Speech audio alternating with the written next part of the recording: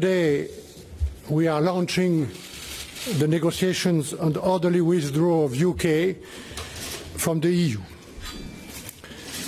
Our objective is clear. We must first tackle the uncertainties caused by Brexit.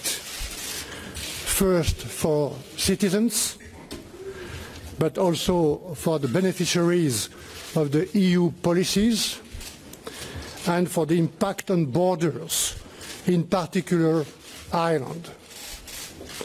I hope that today we can identify priorities and a timetable that would allow me to report to the European Council later this week that we had a constructive opening of negotiations. So, David. Michel, thank you very much for that uh, kind invitation, uh, kind uh, introduction. Uh, I'm in here in Brussels today, like Michel, to begin the next phase of our work to build a new, deep and special partnership with the European Union. But as Michel said, our thoughts this morning are rightly with the victims and families of the awful attack in London last night or earlier this morning, and of course also with those who have lost loved ones in Portugal too, in that terrible tragedy there.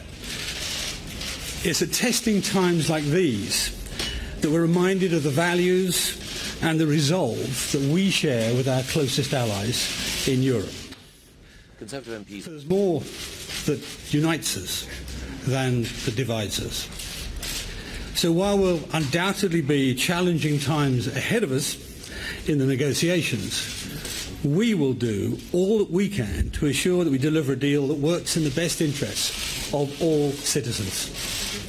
To that end, we're starting this negotiation in a positive and constructive tone, uh, determined to build a strong and special partnership between ourselves and our European allies and friends for the future.